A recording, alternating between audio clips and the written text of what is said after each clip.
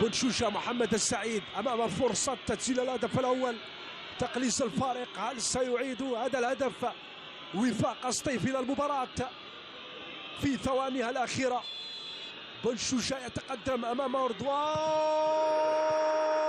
لا لا لا لا لا لا لا لا لا, لا رضوان معاش يقول للوفاق لا وألف لا يرد فرصة فرصة تقليص الفارق ويرفض عودة الوفاق إلى أجواء المباراة.